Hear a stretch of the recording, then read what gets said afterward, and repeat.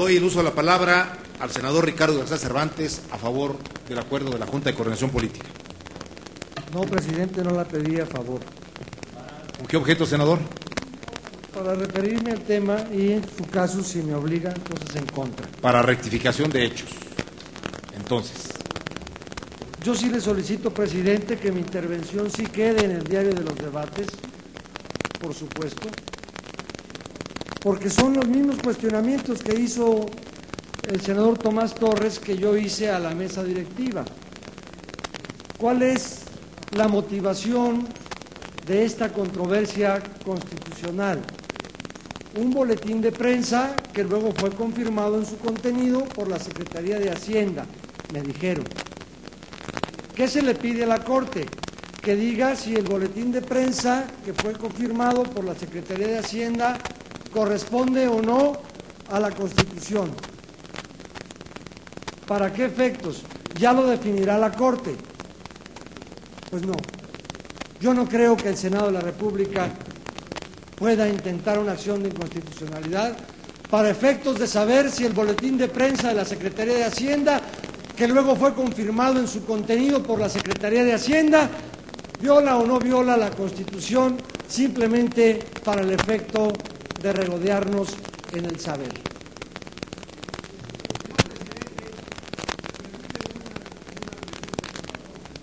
¿acepta usted una pregunta, señor senador? Con mucho gusto y si usted lo autoriza, presidente. Por supuesto, adelante, senador Gómez, pregunta puntual. Senador García Cervantes, a mí tampoco me gusta cómo redactaron en la Junta, y creo que usted fue el redactor, el acuerdo. No, le respondo que no fui el redactor. Bueno, entonces que no. estuvo de, o estuvo de acuerdo. No, no estuve de acuerdo, por eso no se Entonces, aprobó. estuvo en contra. Sí. Bueno, Formule la pregunta para ya, ya estamos de acuerdo, usted y yo. A mí tampoco me gusta, pero yo le pregunto a usted, leyendo todo el documento completo, no se entiende. Yo lo entiendo así, que no se trata de preguntar sobre la legalidad de un boletín de prensa, sino sobre la invasión de facultades del Ejecutivo al Legislativo. Si eh, el legislativo no va a declarar que ha violado la ley, digo, no estamos en la confesional, sino que nosotros vamos a la Corte diciendo, para poder resolver este tema, le pregunto a usted, si esa actitud del gobierno invade o no el área de competencia del Congreso de la Unión. Para poder contestarle, eh, gracias presidente, para poder contestarle con objetividad, a mí me gustaría tener a la vista, por supuesto, el dictamen de la Comisión Nacional Bancaria y de Valores, que fue creada para efectos de supervisar y regular en el ámbito de su competencia a las entidades integrantes del sistema financiero mexicano, que esta ley señala, a fin de procurar su estabilidad y correcto funcionamiento, su estabilidad y correcto funcionamiento, así como mantener y fortalecer el sano y equilibrado desarrollo de dicho sistema en su conjunto. Si este organismo que fue creado como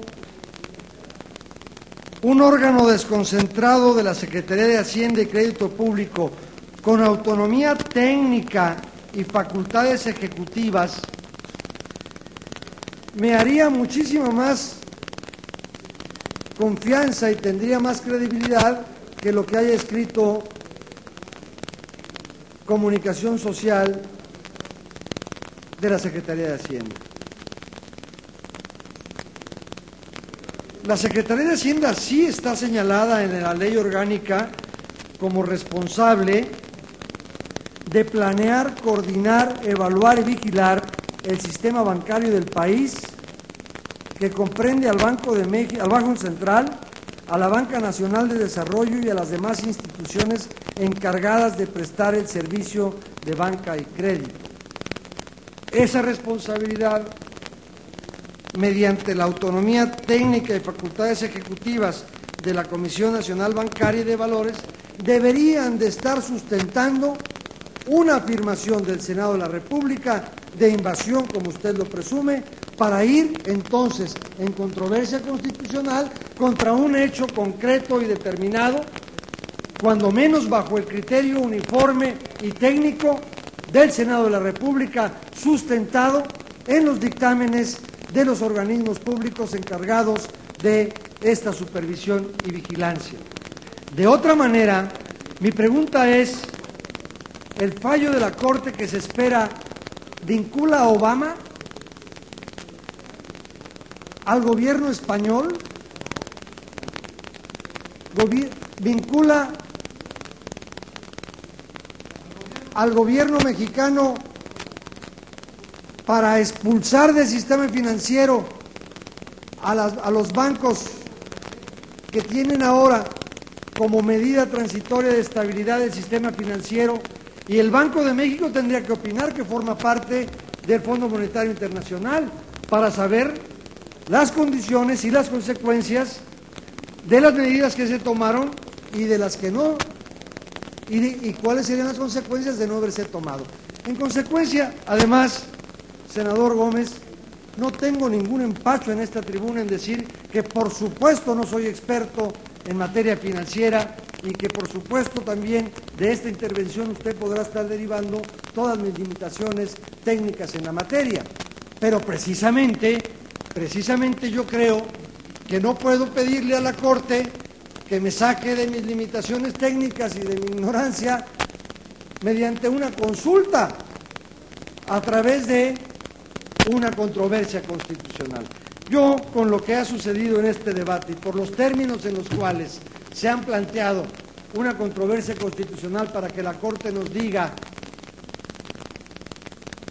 si está bien o está mal el criterio de Hacienda, sin haber hecho todas las indagatorias y las solicitudes de información a los órganos especializados que podrían nutrir el conocimiento y la conclusión del Senado, yo, en lo particular, y solo a título personal, digo que no es procedente una, esta acción de inconstitucionalidad sin haber agotado otros eh, expedientes y por lo tanto yo voy a votar en contra para que quede claro, don Pablo Gómez. Bien.